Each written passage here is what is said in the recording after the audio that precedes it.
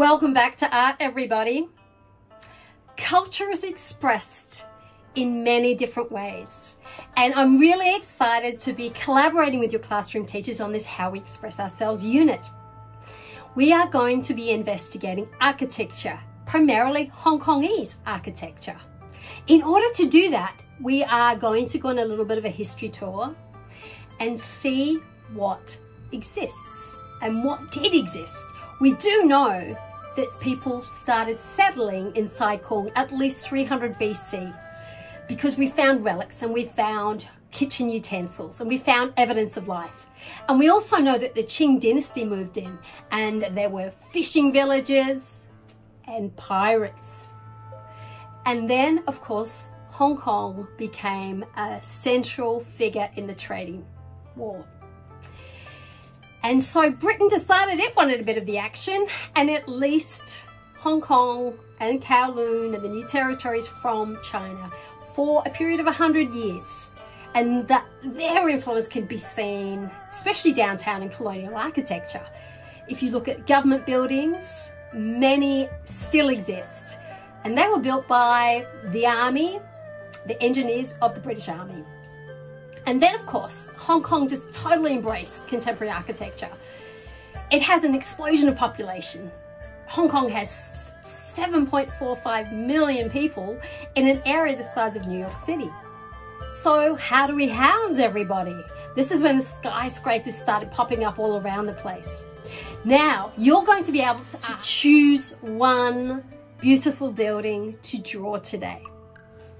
You might choose a more traditional temple or a Chinese dwelling. You might be inspired by colonial architecture you might, like me, have fallen in love with the apartments that are just crammed together but have lots and lots of character. Or you might go for something more contemporary. Let's take a look throughout history and then let's decide which building we want to draw today. Kowloon Walled City was built by the Qing government it has subsequently been destroyed and materials used for the airport, but parts still remain.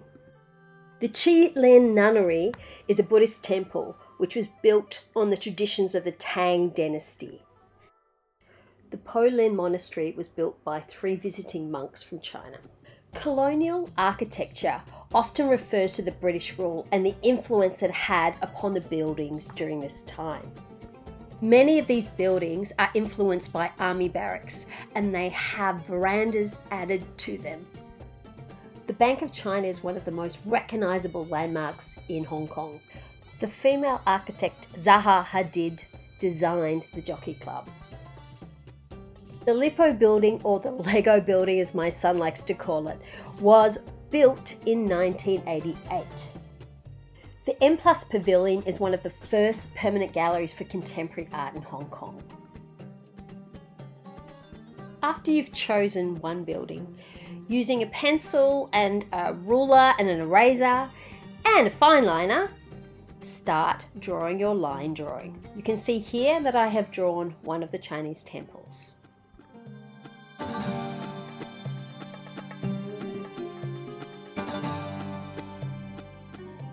The colonial architecture in Hong Kong is very grand. And as I said before, it was built to look like an army barrack, but then verandas were added to make them look even more austere. I love the Hong Kong apartments, the ones that are all squished together with loads and loads of character. You often see people taking lots of photos of these beautiful buildings.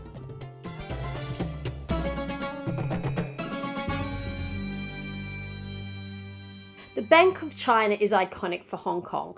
The Hong Kong skyline at night is amazing, and this building definitely stands out.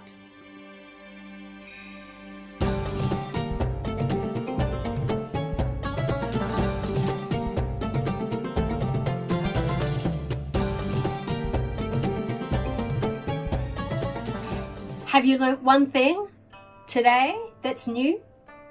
Can you walk past one building now and look at it and understand it a little bit better? I hope so. So what I want you to do now is to choose one building.